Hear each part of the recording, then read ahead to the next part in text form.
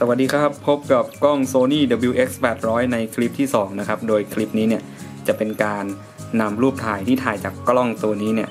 มาทำเป็นคลิปให้ชมกันครับ โดยที่ผมจะไม่ทำการตัดต่อหรือว่าแต่งแสงใดๆทั้งสิ้นนะครับ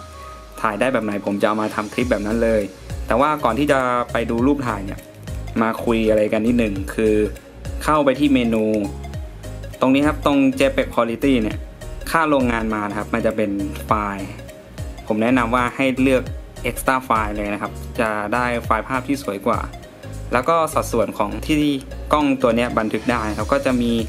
เนี่ย4ต่อ3เนี่ยก็จะความละเอียด 18 ล้าน ถ้าเป็น 3 ต่อ2เนี่ยมันก็จะตัดขอบบนขอบล่างลงไปนะครับ ก็จะเหลือ 16 ล้านพิกเซล แล้วก็ 16 ต่อ 9 แล้วก็คือยิ่งตัดบนตัดล่างไปอีก ก็จะเหลือความละเอียด 13 ล้านพิกเซลครับ อะ